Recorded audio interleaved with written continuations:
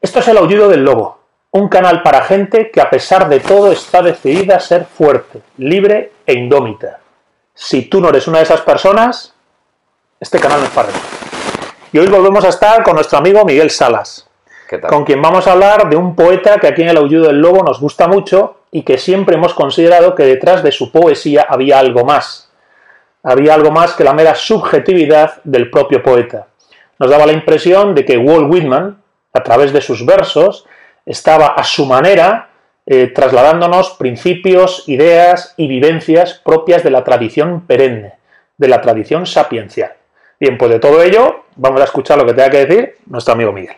¿Qué tal? Pues coméntanos. Pues nada, eh, lo cierto es que, bueno, fue una casualidad, ¿no? Que un día hablando estuviéramos de acuerdo en que Whitman era una especie de iniciado sin, sin logia, sin cofradía, ¿no? Sin, sin, una estructura... Un autoiniciado. Exactamente, sin una estructura tradicional que lo soporte. Es uno de los elementos que ya hablamos de Guénon en su día, Guénon cree posible, es decir, la aparición de una persona que entra en contacto directo con la tradición y que es capaz de traducir al lenguaje humano esas enseñanzas que pues todas las viejas eh, religiones, que todos los viejos eh, complejos simbólicos nos traen, ¿no? Y Whitman, creo, es uno de esos casos clarísimos. A veces eh, esa tradición, esa doctrina queda eh, pues confundida por, toda, por, la, por, una, por la confusión de la palabra, por esas constantes enumeraciones, esos que aturden un poco al lector, pero se encuentran los carbones de la tradición, ¿no? la luz, entre los versos. Entonces, eso es un punto de partida. Para ti, Walt Whitman no es un mero poeta moderno. No, no lo es, ni mucho menos. Y es curioso porque ha pasado a la historia como el gran poeta de la modernidad americana y de la democracia, cuando creo que en el fondo nos está hablando de una cosa completamente que trasciende. Se podría decir que el carácter estadounidense, de New Jersey, de los años de formación de Estados Unidos, en los cuales surge la persona concreta fenomenológica de Walt Whitman, es lo meramente contingente de su obra y de, de sus versos. Detrás de ello hay otra cosa. Y es una cosa que entroncaría con las verdades de la tradición eterna. Igual que para Homero lo es la Grecia, ¿no? La, la, sí, el mundo griego, sí. ¿eh? igual que para Shakespeare es la Inglaterra isabelina, eh, para Whitman es la América democrática. Esa sería su ecuación personal, pero hay algo más allá de su mero ego, de su mera circunstancia. Sin duda, y él constantemente está luchando con esa circunstancia, no solo a lo largo de su vida, sino en sus poemas, para encontrar lo que hay detrás de eso. Entonces es verdad que hay un pulso constante en su poesía, para trascender precisamente esa Su contingencia, su, su circunstancia meramente, bueno, contemporánea. Sin duda, o así lo leo yo. Eh, o sea, tú notas en su poesía un anhelo de trascender lo contingente de su carácter contemporáneo estadounidense y demás, porque lo que él ha conocido, ha experimentado y, y está vivenciando son las verdades de la tradición eterna, el principio de no dualidad, etcétera. Totalmente. Mira, pues vamos con ello, eh, porque me parece que es el canto a mí mismo, ¿eh? el canto a sí mismo, el canto a mí mismo. Coméntanos, ahí hacías una distinción para explicarlo de ese poema que es uno de los clásicos de Whitman, el canto a mí mismo. Las citas que, voy a leer son todas del canto a mí mismo, que creo que es el núcleo de la poesía de Whitman, es el, digamos la llave para abrir el resto de su obra, que es una obra abundante, porque Hojas de Hierba es un gran volumen, y eh, creo que se ha hecho una mala interpretación del propio título. El canto a mí mismo no es un canto al ego, sino un canto al sí mismo, al Atman, a la esencia de la humanidad, a aquello que nos conecta con un nivel superior, al centro de, la, psique, al centro de la espiritualidad, a ese lugar al que vamos si partimos de la psicología junguiana, por ejemplo, pues ese proceso de, autorrealización, si partimos de la tradición iniciática, que es la que más nos gusta a ambos, ¿no? Esa conquista de la, propia alma, ¿no? Ese sí mismo, esa búsqueda. El yo esencial, que es uno con el principio supremo, el Atman, has dicho, el principio de no dualidad, del Brahman y el Atman. Entonces, es, eh, el canto a mí mismo es el canto a su esencia. El canto a la esencia humana en todos los hombres. Por eso aparecen tantos personajes. El, el, negro esclavo, la madre que está siendo quemada en una hoguera por bruja, los tenderos de... todo es manifestación del Atman. Todo es manifestación del Atman. Y ese pulular de identidades personales, de pequeños egos, multiplicado por millones, que era la América de aquel entonces, que era un hormiguero, esa es la, es la que le lleva a entender que hay una, unidad detrás de todo eso, ¿no? Una unidad que conecta a todos los seres humanos con la naturaleza y con un principio superior creador de todo eso, ¿no? De hecho, bueno, termina, sí. de hecho, Whitman tiene ese, ese, gran verso en el que dice, yo soy el hombre, el hombre con mayúsculas, el ser humano. Y mirándose dentro, identifica lo que hay de humano en todos los demás y lo que es, por lo tanto, el centro, digamos, de, la o sea, tú crees que a través del canto a mí mismo está haciendo un canto al sí mismo, al Atman del Sanatana Dharma, de la tradición eterna, y él lo está experimentando. No tiene formación doctrinal para entenderlo, ni para enunciarlo en términos ortodoxos, pero lo experimenta. Y es entonces que habla de ello en sus versos. De hecho, muchos de sus poemas insisten que hay que dejar atrás los credos, en el sentido de estructuraciones, digamos, códigos morales, para encontrar la verdadera tradición. Y lo dice constantemente, ¿eh? ¿no? dejad los púlpitos, dejad las, eh, los libros, eh, porque lo que quiere es que experimentemos a través de la vida esa conexión con el infinito, que él ha conseguido experimentar de manera espontánea. ¿no? De hecho, Enrique López Castellón, que es un crítico de Whitman, ha, hecho, ha escrito diferentes cosas, dice, creo que con mucha lucidez, que el sí mismo, este canto a mí mismo, no es concebido por el poeta como el íntimo y profundo ser personal, sino que se trata más bien del ser universal manifiesto en el hombre, y en este sentido se opone al ego o al yo fenoménico. Dicho de otra manera, el canto a mí mismo es en realidad un canto a todos los hombres identificados con la naturaleza eterna. bueno, yo creo que está hablando de Latman, los que nos vean y sepan un poco de tradición sapiencial e iniciática en lo que está teniendo esa experiencia del yo profundo, yo esencial, o, de la esencia trascendente, en la que el, el, yo meramente ego, pues no es más que una cobertura que desaparece, es el personaje. Exactamente. Es el personaje secundario, la máscara y no la esencia. Correcto. Vale, a partir de ahí tú planteas que en la medida en que Whitman tiene experiencia de ese principio de no dualidad, conoce en sí mismo lo eterno y lo absoluto y lo ve en el mundo que le rodea, él es un iniciado, y, entonces no es un mero poeta. No, no, él es, un bate. Es un bate tradicional, es un bate como entendemos a Dante, como entendemos a Homero, como mucha gente entiende a Shakespeare también, y por eso se busca tanto en las obras de estos, de estos grandes poetas un significado eh, a otro nivel, un significado que nos lleve más lejos, no solo un significado literal de la historia concreta que nos cuentan. Y se encuentra siempre, porque son poetas, es verdad, que beben de la tradición. Y el caso de, de Whitman es clarísimo, ¿no? Él hace referencia constante porque él era un hombre que corregía mucho sus poemas, fue reeditando diferentes eh, ediciones de hojas de hierba, siempre, pero matizados, y él decía que cuando él escribía buscaba decir algo con la flor de la mente que es una figura, es una figura budista. Decir algo con la flor de la mente, con la mente diamante, que dice también. Eh. Con, la joya en el loto, si es que, eh, es, una figura casi budista. O sea, él tenía la intuición de la flor de la mente, del intelecto superior, que también dice René Guénon, ¿no? Exactamente. Del frontal del logos, que ve más allá del... Correcto, del, conocimiento mediante la intuición, que hablamos ya cuando comentamos la obra de Guénon, que es un conocimiento, primero, total, que no se puede dividir, y es un conocimiento instantáneo y es un conocimiento que no se puede separar de lo conocido, ¿no? La distinción entre la psique y el nous también, ¿no? Del, mundo neoplatónico, entiendo que él quiere escribir con la flor de la mente con el nous de los neoplatónicos. Exacto, no con la razón, sino con el intelecto, sino con el nous de los neoplatónicos, exacto, con, ese, con esa parte que a partir de la ilustración hemos desestimado de nuestra capacidad de conocer mediante una intuición superior mediante un instinto superior, no un instinto suprarracional, decíamos hablando de René Guénon, ¿no? Correcto. El intelecto suprarracional que trasciende tanto las emociones como los instintos, como el mero pensamiento discursivo y que ve la realidad tal como es. Entonces tú consideras que en la obra de Whitman, él, sin haber pasado por la correspondiente mm, vía iniciática de la logia correspondiente, para entendernos, eh, él, sin embargo, despierta eso. Totalmente, y además él es como iniciado dueño de la propia conquista de su alma, decíamos, ¿no? Dice en uno de los versos que a mí más me gusta del canto a mí mismo, dice, no le digo al cielo que descienda hasta mí, sino que soy yo el que me doy, libre y sin cesar.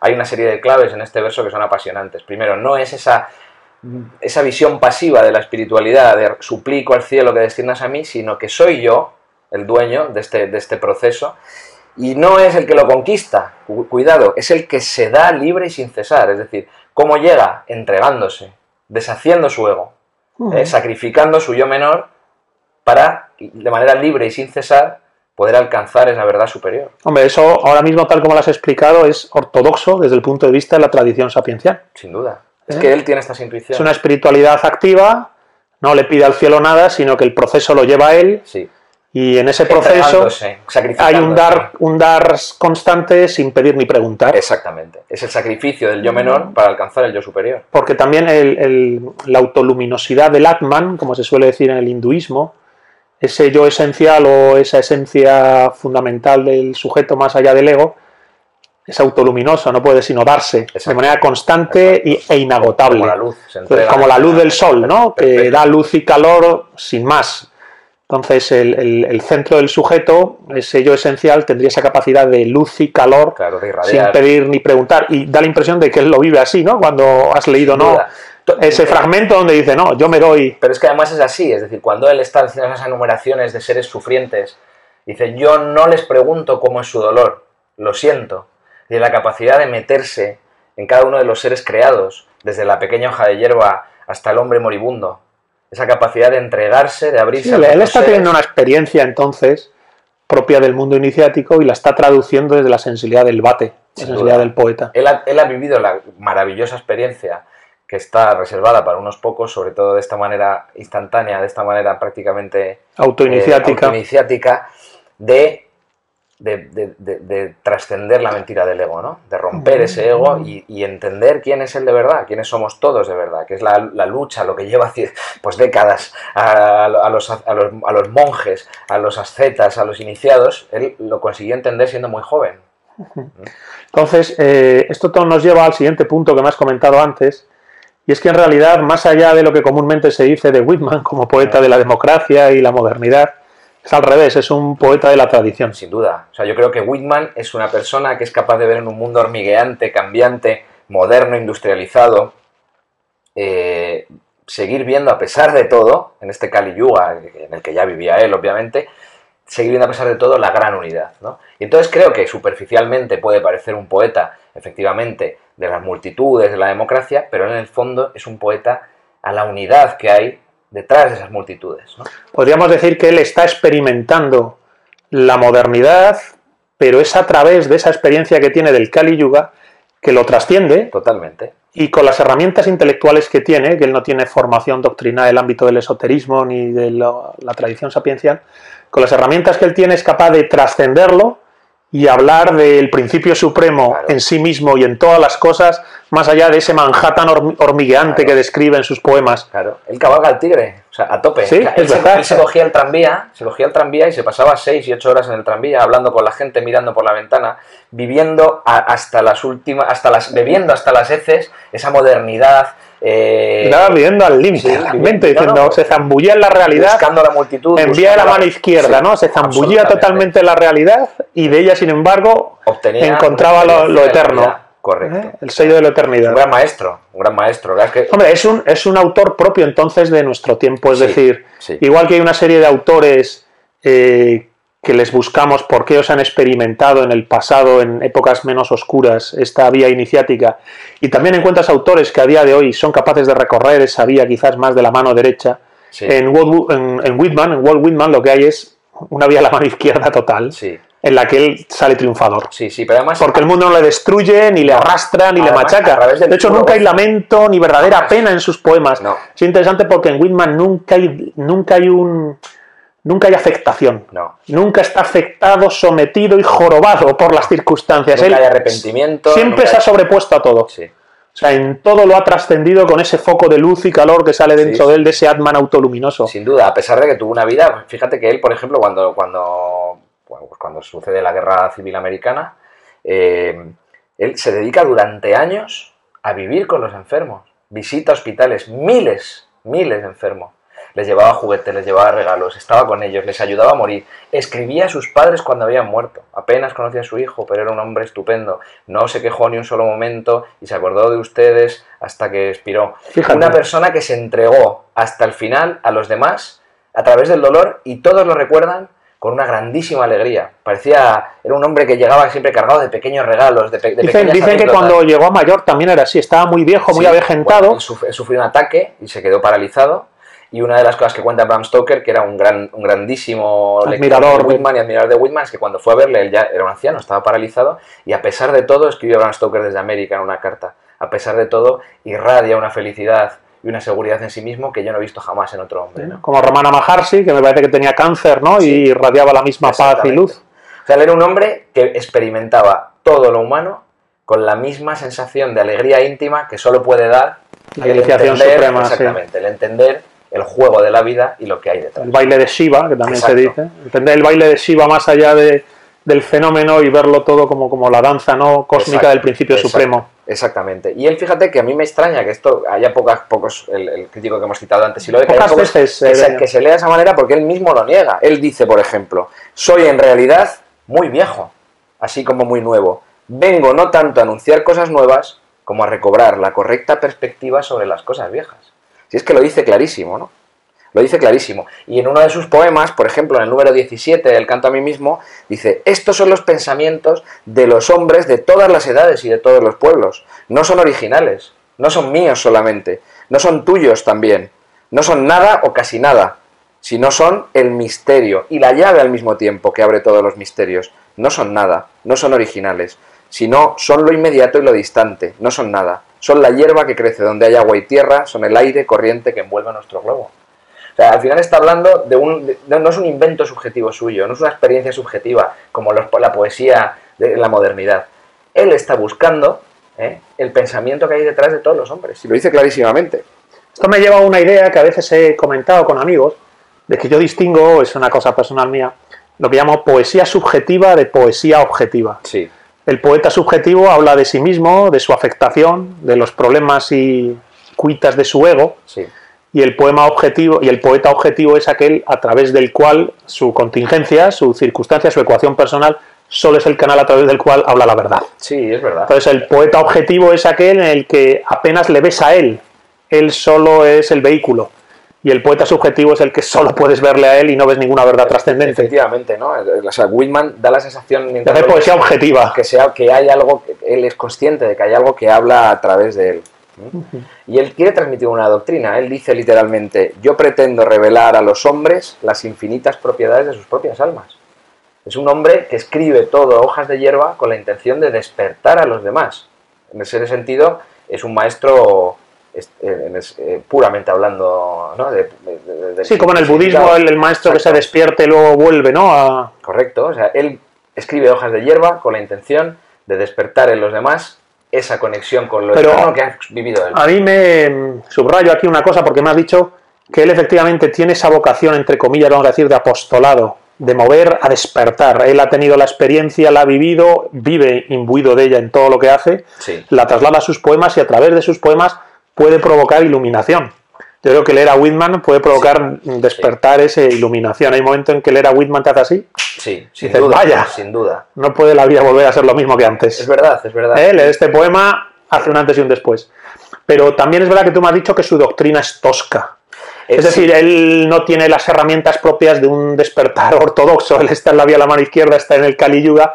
Su doctrina es tosca, es un poco de claro, fuego, ¿verdad? Puedes comparar, pues, pues, pues el, el Ramana Maharshi, hemos claro, dicho. Efectivamente, los gran- a los grandes maestros de la tradición que han estudiado durante décadas, que, que se han ido separando poco a poco de sus egos con una persona que ha tenido una entrada brusca, eh, eh, una, En el despertar. una ruptura violenta en el despertar de esa manera y sin ayuda alrededor, ¿no? Entonces es cierto que yo tengo la sensación cuando leo a Whitman que es un hombre que se está ahogando. Entonces de repente se le mete la cabeza debajo del agua y entonces vuelve otra vez la palabrería y las enumeraciones y de repente la saca y dice algo que te deja absolutamente mudo y que te hace pensar durante semanas, ¿no?